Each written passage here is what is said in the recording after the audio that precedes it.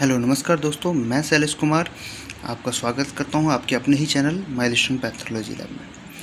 दोस्तों, आज हम आपसे बात करेंगे एमएलटी के बारे में। एमएलटी कोर्स डिटेल्स एमएलटी के बारे में एम क्या क्या एम के अंदर क्या क्या चीज़ें आते हैं, ये सारी चीज़ें के बारे में हम आपसे बात करेंगे। चैनल को लाइक कर दें सब्सक्राइब कर दें। ठीक है दोस्तों, चलिए हम स्टार्ट करते हैं अपने इस वीडियो को।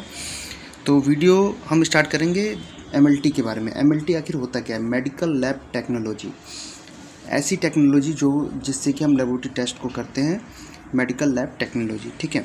इसके अंदर हम ऐसे टेक्नीशियंस होते हैं जिस, जो इसकी पढ़ाई करते हैं, उनको ऐसे स्किल्स सिखाए जाते हैं जो कि लेबोरेटरी टेस्ट को कंडक्ट करके उसके डायग्नोसिस के बारे में पता करते हैं। ब्लड टेस्ट और बॉडी फ्लूड्स जो है क्लिनिकल लेबोरेटरीज के अंदर इस टेस्ट को कंडक्ट करके उनके डायग्नोसिस को पता करते हैं, जिसके बेस पे इसका ट्रीटमेंट पेशेंट का ट्रीटमेंट होता है, ठीक है? तो मेडिकल साइंस का बहुत ही इम्पोर्टेंट फ़ील्ड है ये, जिसकी वजह जो कि मेडिकल साइंस में बहुत ही इंपॉर्टेंट रोल प्ले करता है, ठीक है दोस्तों? चलिए हम आज क्या बात करेंगे? हम स्टाफ के बारे में बात करेंगे लैब के बारे में बात करेंगे डिपार्टमेंट के बारे में how to become a good medical technician इसके बारे में बात करेंगे।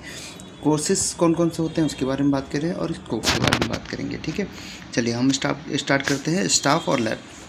दोस्तों, लैब के अंदर बहुत से स्टाफ होते हैं और लैब के अंदर बहुत सा मतलब प्रोसेस से होके एक पूरी लेबोरेटरी को बनने में बहुत से प्रोसेस होना पड़ता है, तब जाके एक लैब कंप्लीट होती है, ठीक है?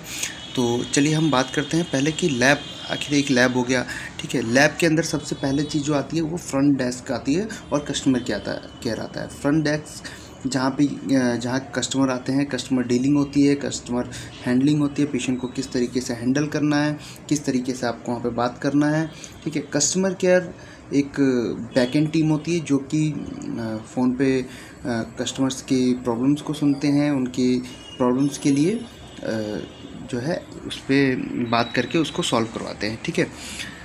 तो सबसे पहला आता है फ्रंट डेस्क जिसको कि हम रिसेप्शन भी कह सकते हैं।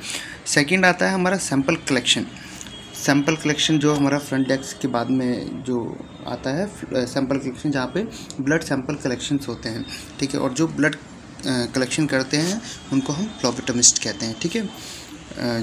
जो कि ब्लड ड्रॉ करते हैं, ठीक है? इनको ब्लड कलेक्शन ऑफिसर्स भी कहा जाता है, ठीक है? उसके बाद आता है हमारा ऐसा डिपार्टमेंट ऐसा डिपार्टमेंट ऐसा डिपार्टमेंट जिसको सैंपल रजिस्ट्रेशन डिपार्टमेंट कहते हैं, जहाँ पे सैंपल आपके रजिस्टर्ड होते हैं रजिस्ट्रेशन होता है वहाँ पे, उसमें ये देखा जाता है कि मैच किया जाता है, आपके क्रॉस मैच किया जाता है, आपके वायल्स पे नाम या बार कोड जो लगे हुए हैं उन चीज़ों से कंफर्म करिए कहीं इस सैंपल में कोई इशूज़ तो नहीं है, ठीक है?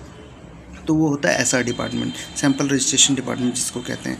उसके बाद वहाँ से सैंपल डिस्ट्रीब्यूट होकर अलग अलग डिपार्टमेंट में जाता है, जो जहाँ के टेस्ट होते हैं, उस डिपार्टमेंट में जाता है। फिर वहाँ पर टेस्ट आपके प्रोसेस होते हैं, ठीक है? टेस्ट प्रोसेस होने के बाद फिर अप्रूवल के लिए पेंडिंग रहता है, जो कि आपके डॉक्टर्स जो है, वो अप्रूवल करते हैं, ठीक है? अप्रूवल होने के बाद फिर रिपोर्टिंग की बारी आती है, फिर उसको रिपोर्ट करके रिपोर्टिंग करके उसका अगर किसी को हार्ड कॉपी देनी होती तो प्रिंट करना होता है, नहीं तो सॉफ्टवेयर पर अपलोड करके वो ईमेल, व्हाट्सएप के ज़रिए रिपोर्टिंग भेजी जाती है। ठीक है दोस्तों? चलिए, अब हम बात करते हैं डिपार्टमेंट के बारे में कि डिपार्टमेंट आखिर होते कौन कौन से हैं।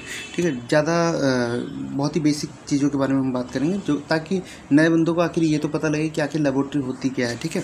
चलिए, डिपार्टमेंट के बारे में हम बात करते हैं कि लैब के अंदर कौन कौन से डिपार्टमेंट आ जाता है। Haematology, clinical pathology, biochemistry, microbiology, immunology, histopathology, cytology and blood bank. ठीक है दोस्तों? तो हम अब बात करते हैं हिमाटोलॉजी के बारे में। हेमाटोलॉजी जहाँ हम ब्लड के स्टडी के बारे में पढ़ते हैं, ठीक है?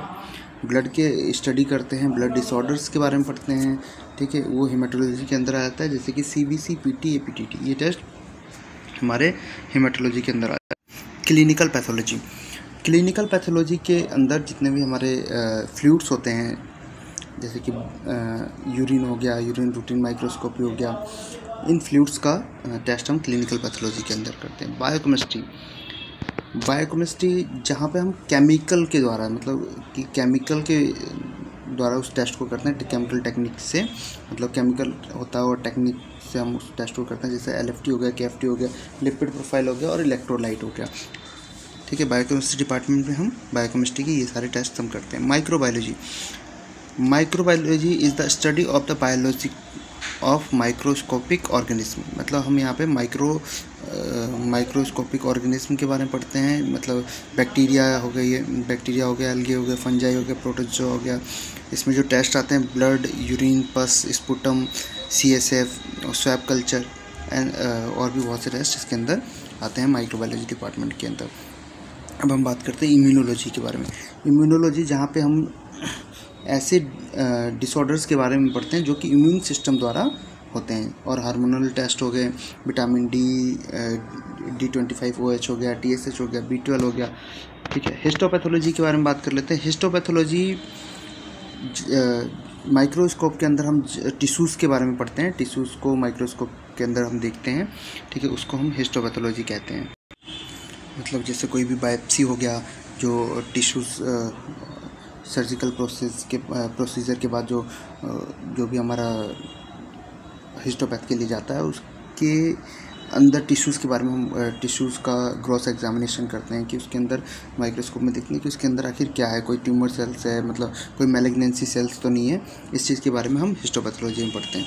साइटोलॉजी के बारे में जो है साइटोलॉजी में हम जैसे एफ़ टेस्ट करते हैं तो cytology is the exam of a single cell type has often found in fluid specimen. It's mainly used to diagnose or screen for cancer. It's also used to screen for fetal abnormalities for pap smear to diagnose infectious organism. जैसे कि F करते हैं FNAC में कोई malignancy cell तो नहीं है उसके बारे में हम एफ़ में पढ़ते हैं तो साइटोलॉजी का जो मेन वो है कि हम पैपिसमेयर करते हैं साइटोलॉजी टेस्ट में एफ़ करते हैं ठीक है, उसकी स्क्रीनिंग इसे भी हम माइक्रोस्कोप के अंदर देखते हैं। ठीक है, अब बात कर लेते हैं ब्लड बैंक के बारे में। Blood bank is a centre where blood gathers as a result of blood donation is store and preserve for later use in blood transfusion blood bank के अंदर ब्लड डोनेशन होता है, जिसका, जिसको हम प्रिजर्व करके रख लेते हैं। बाद में अगर जैसे किसी को ब्लड ट्रांसफ्यूज़न करना होता है तो उसके लिए यूज़ करते हैं, ठीक है? तो ब्लड बैंक का ये यूजेस होता है, ठीक है? दोस्तों तो अब हम बात करते हैं, सबसे इम्पोर्टेंट टॉपिक ये है कि how to become a good medical lab technician. Medical lab technician कैसे बन सकते हैं हम? अच्छे मेडिकल लैब टेक्नीशियन। तो अच्छे मेडिकल जो लैब टेक्नीशियन होते हैं, उनके अंदर ये सारी एबिलिटीज़ होनी चाहिए। Abilities to speak well. अगर कोई पेशेंट आ रहा है, उससे बात करने का तरीका आप पेशेंट को सेटिस्फाई कर सको, ठीक है? पेशेंट आ रहा है पेशेंट को आपने अपने कॉन्फिडेंस में लिया, उनसे बात करने से पेशेंट को ये नहीं लगना चाहिए कि ये बंदा अभी इस फ़ील्ड में नया है। उनको पेशेंट के हर क्वेश्चन का आपको आंसर देना है, वो भी सेटिस्फाई करना है पेशेंट को, ठीक है? प्लेजेंट पर्सनैलिटी होनी चाहिए। नॉलेज ऑफ़ एवरी फ़ील्ड जितनी भी फील्ड्स हमने पीछे बताए ना, उन सारे फील्ड्स के बारे में नॉलेज आपको होनी चाहिए, ताकि आप पेशेंट को समझा सको, अगर पेशेंट कोई भी आपसे क्वेश्चन करता है।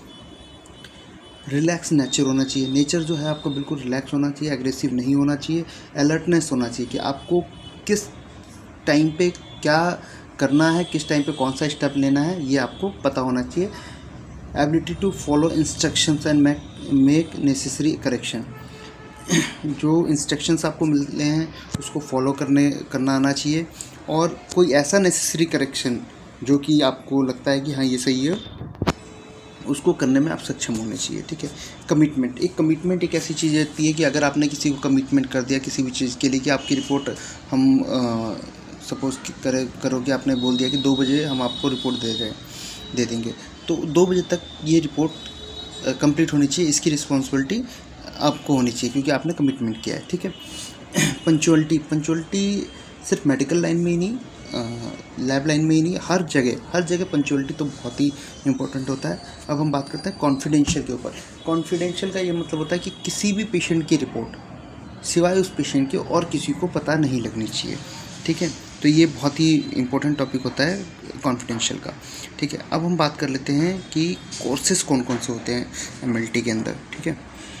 तो सबसे पहले आता है C M L T C M L T का मतलब होता है certification in medical lab technology D M L T diploma in medical laboratory technology B M L T bachelor of medical lab technology M M L T का मतलब है master in medical lab technology P H D doctor of philosophy ठीक है, अब हम एक एक करके इन सब चीज़ों के बारे में पढ़ लेते हैं। तो चलिए स्टार्ट करते हैं। पहले, सबसे पहले C M L T certification in medical lab technology के बारे में हम पढ़ लेते हैं।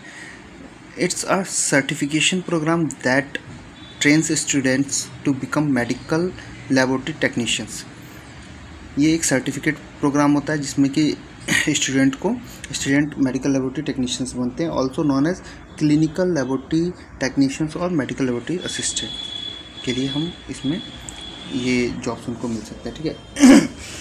जो कोर्स होता है, जो कोर्स होता है वो सर्टिफिकेट लेवल का होता है। Full form certificate course in medical lab technology होता है। सिक्स मंथ और वन ईयर का होता है। एलिजिबिलिटी जो होती है इसकी टेन प्लस टू होती है। जॉब पोजीशन क्या होता है? मेडिक लेबोरेटरी टेक्नीशियन और असिस्टेंट लेबोरेटरी टेक्नीशियन की पोस्ट इनको मिल जाती है, ठीक है? उसके बाद आता है D diploma in medical laboratory technology ठीक है? कोर्स लेवल जो है डिप्लोमा होता है फुल फॉर्म इसका diploma in medical laboratory technology होता है ड्यूरेशन थ्री ईयर होता है और टू ईयर होता है, ठीक है? एलिजिबिलिटी टेंथ और टेंथ प्लस टू दोनों होता है। जॉब प्रोफ़ाइल क्या होता है? मेडिकल लेबोरेटरी टेक्नीशियन हो जाता है क्लिनिकल लेबोरेटरी टेक्नीशियन होता है फ्लैबोटोमिस्ट हो गया बायोकेमिस्ट हो गया मेडिकल फ्लैबोटोमिस्ट हो गया और भी बहुत से प्रोफाइल्स होते हैं जहाँ इनकी जॉब लग जाती है, ठीक है? अब हम बात करते हैं B M L T bachelor of medical laboratory technology medical B S C M L T इसको हम कहते हैं जो, ठीक है?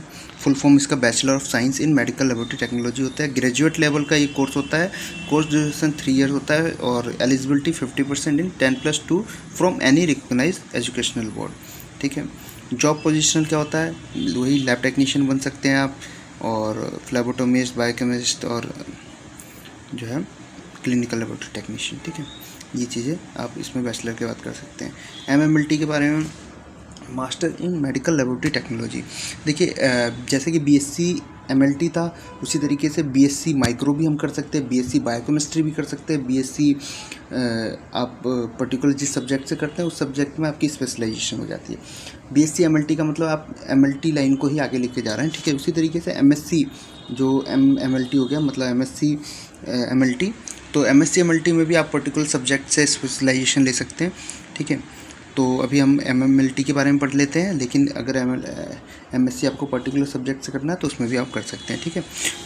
कोर्स लैब जो होता है कोर्स लेवल जो होता है पोस्ट ग्रेजुएट होता है duration of course two years का कोर्स होता है जो एग्जामिनेशन टाइप होता है सेमेस्टर वाइज एग्ज़ाम होते हैं इसके एलिजिबिलिटी बैचलर डिग्री होना चाहिए आपके पास एम एल के अंदर, और इससे रिलेटेड सब्जेक्ट के अंदर, अगर आपको किसी, मान लीजिए M S C in microbiology करना है तो आपको B S C M L T होना चाहिए या तो बी एस सी माइक्रोबायोलॉजी से होना चाहिए, ठीक है? जॉब पोजीशन क्या होता है? लेबोरेटरी मैनेजर होते हैं लेबोरेटरी कंसल्टेंट हो जाते हैं लैब टेक्नीशियन और पैथोलॉजी सुपरवाइज़र और इसके इसके बाद आप इंडस्ट्रीज़ में भी जा सकते हैं, जो एम एस सी माइक्रो जैसे आपने किया है एम एस सी माइक्रो किया तो आप इंडस्ट्रीज़ के अंदर भी जा सकते हैं, ठीक है?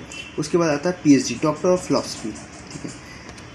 तो इसके बारे में पढ़ लेते हैं। कोर्स लेवल जो है डॉक्टरेट लेवल होता है एलिजिबिलिटी क्या होता है? मास्टर डिग्री होना चाहिए एमएलटी में ठीक है? और रिलेटेड फ़ील्ड में होना चाहिए। और आ, कुछ बोर्ड के एग्ज़ाम होते हैं जैसे गेट हो गया यूजीसी नेट हो गया सीएसआईआर नेट हो गया और जेआरएफ होता है जेआरएफ हो गया ये आपको क्वालिफाइड होना चाहिए ठीक है? ड्यूरेशन ऑफ़ कोर्स कितना होता है? तीन से पाँच साल का इसका कोर्स कोर्स का ड्यूरेशन होता है।